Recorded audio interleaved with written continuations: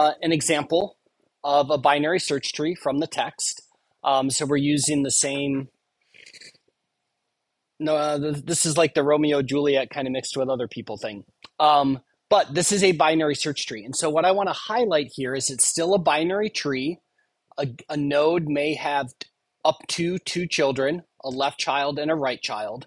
What makes this a binary search tree as opposed to just the binary trees we've been studying up to now is that there's a relationship between the left descendants and the node and the right descendants and the node. Okay. So, what you'll notice is if you look at all of the left descendants of Juliet, which includes Eve, Adam, and Harry, all of them come alphabetically, technically, lexicographically before Juliet. Okay. It's sorted, right? So, all the left descendants come before Juliet, and all the right descendants, Romeo and Tom, come after Juliet. Okay. So we can store information in a binary search tree and find elements extremely quickly. Okay. We saw some of this last year in APCSA in the context of doing binary searches on sorted arrays. Um, this has similar performance, and we'll get more into the performance of it tomorrow. We're just going to focus on the structure and the algorithms today. And so, this rule that the left descendants come before and the right descendants come after a node is true of all nodes, right? So if we look at Eve, Adam comes before Eve, it's a left descendant. Harry comes after Eve, it's a right descendant. What we're going to focus on today and tomorrow is how we write algorithms to find elements in a binary search tree, how we remove elements from a binary search tree, and how we add elements from a binary search tree. Um, not quite in that order. We'll do removal last. Removal is crazy complicated. Um, so we're going to start with searching, finding elements. So switching over to our chapter 17 class notes project, we have a class called binary search tree. There's already some code and a lot of comments in it. Um, and over the next couple of days, we're going to fill all of this in and capture and write together each of these key binary search tree algorithms. Um, we're going to go in order of difficulty. So we're going to, not necessarily the order in this class. So we're going to skip over um, add for now, and we're going to move down here to find. Okay. Um, there's one rule for elements in a binary search tree. Those elements, those whatever class that's from, must implement the comparable interface because the whole idea is that the nodes are sorted within the binary search tree, and we can only do that if it implements the comparable interface. Um, so this is similar to this might ring a bell from like a tree set or a tree map, um, where it also had to implement a comparable interface. Um, and you might be starting to wonder and make some connections there, which we'll get to more later as well.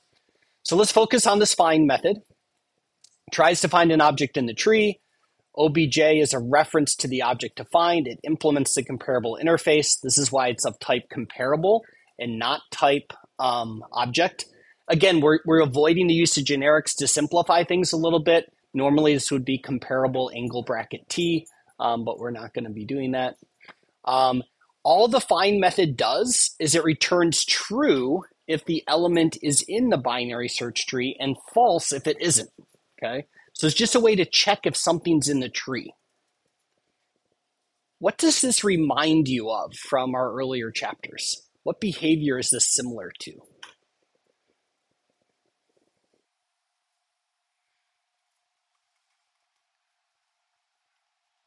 What other data structure had a method where we could very quickly check if an element is in it or not?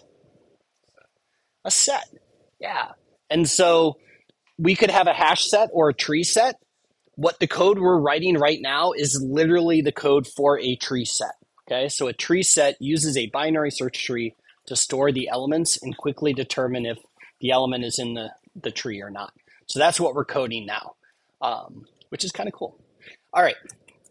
So, what's our general strategy? We need to start at the root of the tree. So we're going to create a local variable called current, which will reference the current node we're searching, and we'll initialize it to the root of the tree. And we will continue to search throughout the tree until we either get to a leaf um, or and that's not exactly true, get to a point where we can no longer continue to search or we find what we're looking for. so while current is not equal to null, while there are more nodes to search, we need to decide what to do. So for any given node, there's three possibilities. Um, we need to though determine which of the three possibilities we pursue. We need to know how does the current node compare to the one we're searching for. Okay. Um, so I'm going to create a local variable called diff. It's like the difference between the values. On the object that is passed in, I am going to invoke the compare to method, which I know I can do because that object implements the comparable interface. And I'm going to pass the data associated with the current node.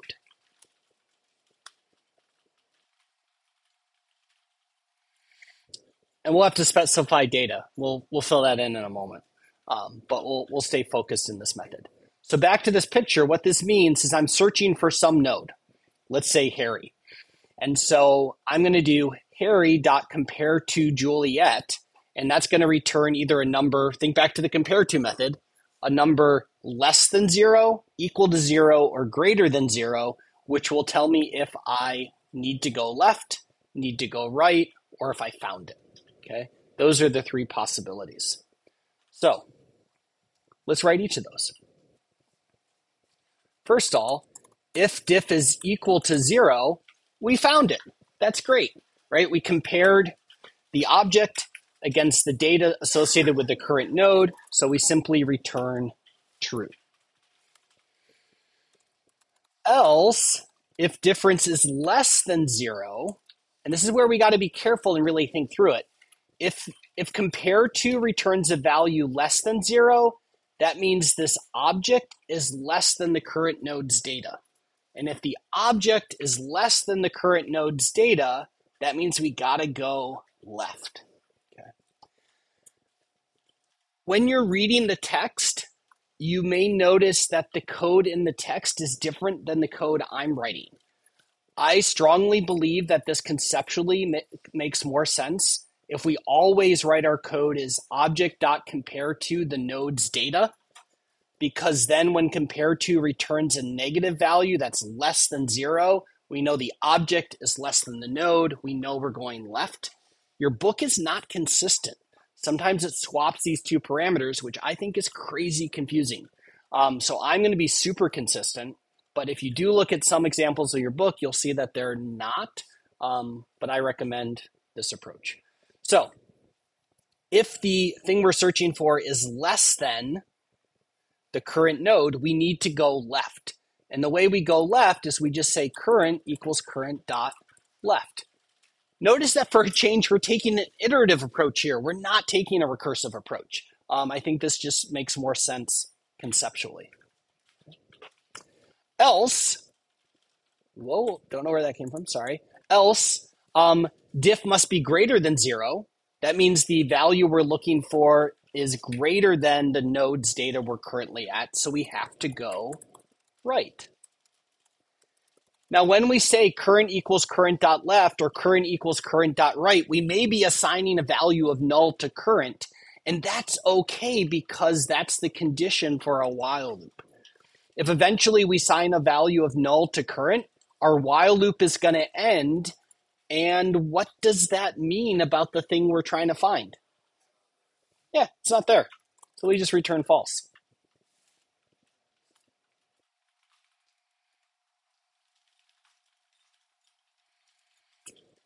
So that's the entire algorithm for how do we find an element in a binary search tree. Not too bad. Let's take care of these compiler errors. I kind of got ahead of myself. So let's scroll down to the bottom of this class um, and put the rest of the stuff in the node class. So let's say public comparable data. There's the data. And then public node left and public node right. The warning we're getting with comparable is because it's a raw type and it wants us to make it a generic. Again, we're going to keep it simple and not do that. I'm reconsidering that choice, to be honest with you all. So I'll ask you probably tomorrow, like, how confusing do you think it'd be if we made all this stuff generic? But more for the future. All right. So we can find nodes now. That's great.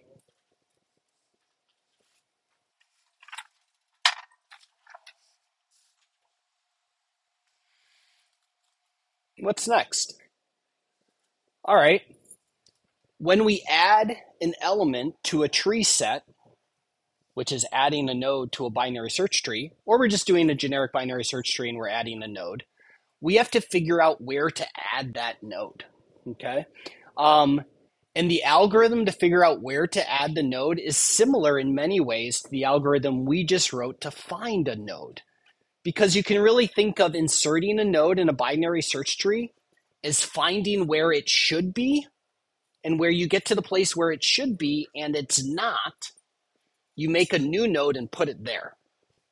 Okay, so that's conceptually how it works. So, for example, maybe I should have made this two slides, but for example, let's say we had Juliet, Diana, Harry, and Tom, and we're inserting Romeo. The way the algorithm works is, oops, we start at the root of the tree, Juliet, and we say, is Romeo less than or equal to Juliet? I'm sorry, less than or greater than. It's greater than, so we look, we go right. We say, is Romeo less than or greater than Tom?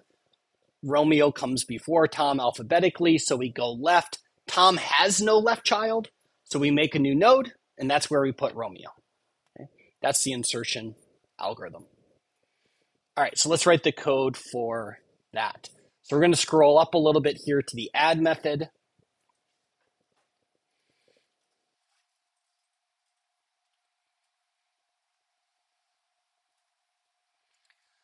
I know you were very excited that we just wrote the code um, in an iterative fashion rather than recursion, but we're done with that now. We're back to recursion. So we're going to use recursion to add this new node. So mix it up a little bit.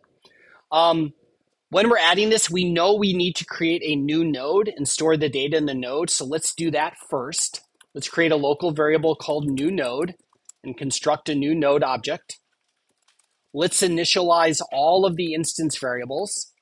So data will be equal to object, which refers to some object that implements the comparable interface. When we insert a new node in our binary search tree, we know that the left and right children are going to be null because we're basically sticking it in the tree somewhere where there is no node, so it will have no children. So we can initialize left and right to null at the very beginning. All right, we're going to have the normal case and we're going to have the corner case. Let's take care of the corner case first. The corner case is what if the tree is empty? What if the root is equal to null? Okay. Well, that's really simple. If we're trying to, yeah, we're just going to set this new node to the root and we're done. That's a piece of cake. So if the tree is empty, then this node will be the new root of the tree because it'll be the only node in the whole tree else, um, we are going to use a recursive method defined on the node class, which we'll go write in a moment. So we're going to say this dot root. We're going to tell the root node, hey, root node, figure out where to add this node that I'm passing as an argument. Okay. So we're using, we, we've been focused on a couple of different recursive strategies. One was using a static recursive private helper method within the tree class. That's not what we're doing here. The other was to use a static method in the node class. That is the approach we're doing here. Okay? Both are valid, and we could have probably written this either way, um, but we're going to write it on the node class. All right, so the actual algorithm is going to live inside of this add node method.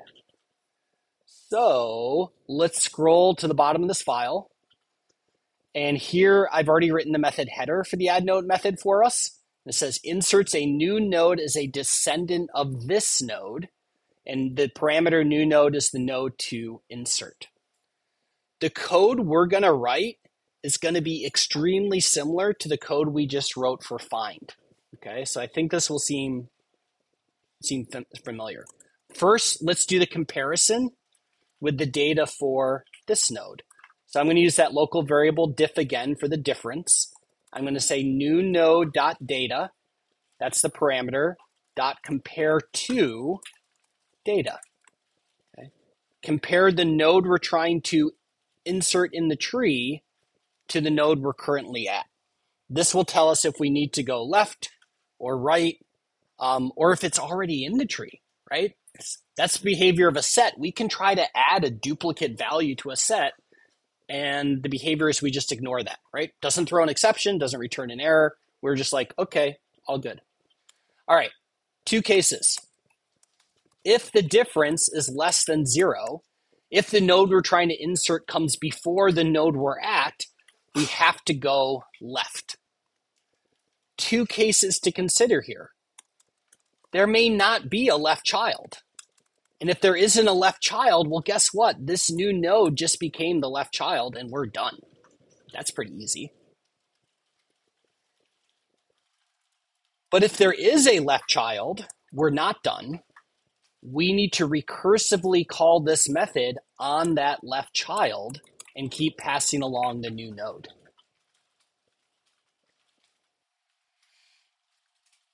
So again, if the new node comes before the current node we're at, if the current node doesn't have a left child, great, the new node is the left child. If the current node does have a left child, well, let's go ask that left child where this node should be inserted, and we do that recursively. Alternatively, if the difference is greater than zero, we're going to have very similar code. We need to go right, but if there is no right child, well, this new node becomes the right child. But if there is a right child, that's fine. We'll just continue to recurse and invoke the add node method on that right child.